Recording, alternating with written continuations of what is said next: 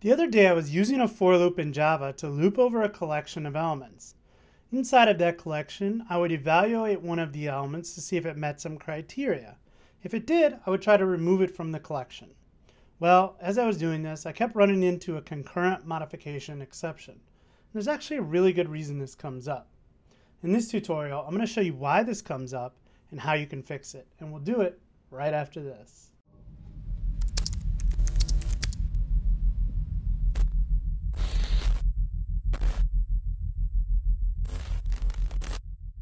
Welcome back everyone. My name is Dan Vega and on this channel you'll find tips, tricks, and tutorials related to software development.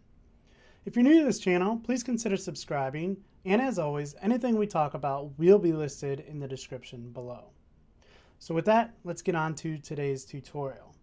So as I talked about in the introduction, we're going to use a Java for loop to loop over a collection and then we're going to do some evaluating inside of that for loop to see if an item in that collection meets our criteria.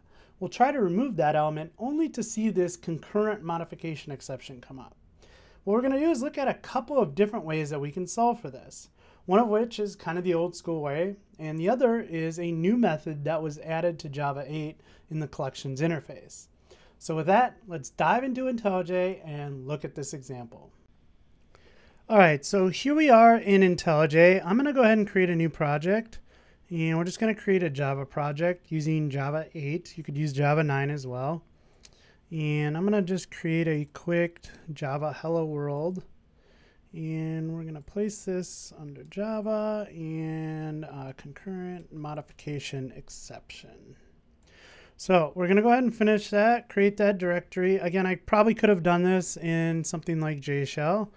Uh, if you don't know what JShell is, I'll link to it below, but I just wanted to open up an IDE and kind of show you this example. So here we are in our program here and we have a static void static public static void main here and what we're going to do is jump into an example of where this might come up so let's say that I had a list of say strings and we'll call these cities and I'm going to um, create a new uh, array list of cities. So I'll say new uh, array list, and inside of there, I'm actually going to use the arrays.as list just to create a list here. And so I'm going to create some cities right around my neighborhood here. So we'll say Avon, Cleveland. Um, I'm going to say my hometown right now is Rocky River. And let's go ahead and add Lakewood. Just adding a bunch in here. These could be obviously whatever you want them to be. I'm actually creating a couple with spaces in between because those are going to be the ones that I want to look at. I want to go ahead and remove anyone with a space in it. Um, really just for demo purposes, uh, doesn't really mean anything, but that's all we're going to do. So if we go ahead and print these, um, and then I'm going to go ahead and run this and we should see our list of cities print out. Okay, so let's look at the example of where this may have come up. So let's go ahead and use a for loop here. And I'm going to say for a string of city in cities, that's our cities collection, I want to go ahead and loop over those. And what I want to do is I want to say if that city contains a space, so if there's a space in there, we do have a couple up there that have spaces in them. And what I want to do then is I want you to go ahead and remove that object. So we're going to remove the city object. So this looks pretty standard. Uh, again, we're just looping over a list of cities. And if that city contains a space, go ahead and remove it. Seems like pretty trivial, so let's go ahead and run that. And there we get a method, we get an exception. So uh, java.util.concurrent modification exception. So to understand what's really happening here is we're basically trying to loop over a collection of cities and the, what happens is underneath the hood, it's actually using an iterator to loop over them. So as it's looping over them, looping over them with one iterator, um, it's trying to uh, basically remove it from one collection, but not really update the other to say that this has been removed. And so with those two things happening, that's why you kind of get that concurrent modification exception. So one way that we could solve this is we can kind of go old school here. And this is pre-Java 8. So what we might have done is we might have looped over the actual iterator. So we could say, all right, I want to create an iterator here of string. We'll call this iterator. And what we want to do is set this equal to the city's iterator.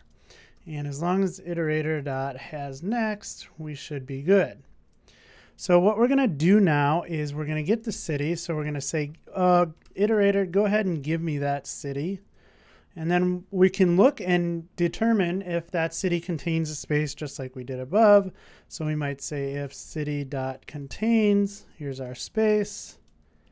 And we can go ahead and use the iterator to remove that. So we can say iterator dot remove. So if we go ahead and run this now, let me just put this down here cities. So now if we go ahead and run this, this actually isn't going to, oops, forgot that. This shouldn't throw an error now. And if we look at it, we have our original list up here, and then we have our modified list down here, which has taken out any of those cities with a space inside of it. So that seems to work out pretty well. And again, this is kind of what it does underneath the hood. When you say for string city in cities, really it's creating an iterator or it's getting the iterator underneath the hood and looping over it. So you're using one mechanism to loop over it.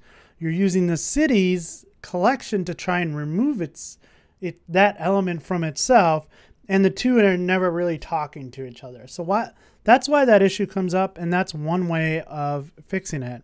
But this is a very verbose way and kind of archaic way, if you ask me, to, to accomplish that. So again, Java 8 added a new method to the collections interface called remove if, and this takes a predicate. So this allows us on any collection to remove based on some condition. So what we can do is we can say cities dot remove if you'll see it takes a predicate there. And all we're going to do is we're going to say, I want you to give me the city here as an argument. And if city dot city dot contains, that's going to be our predicate there. So let's go ahead and run that. And you see that it does the same thing. There's our original collection on top and then our modified collection below. So we could do it like this, but this is obviously much simpler to use and just reads cleaner to to be able to read uh, a line of code like that. So we like typing less, we like reading less, um, and that's really, really nice, clean way of doing this. So again, uh, all the language enhancements in Java 8, Java 9, and coming in Java 10 these things are really great and, and starts to cut a lot of the verbosity out of, uh, out of Java that has plagued it for a long time. So really excited to see this remove if uh, method added to the collections interface. And I'll try to start covering more of these kind of helpful methods as, as we go along here on this channel. So I hope you enjoyed that tutorial. If you did, please go ahead and subscribe to this channel. And I appreciate you watching and have a great day.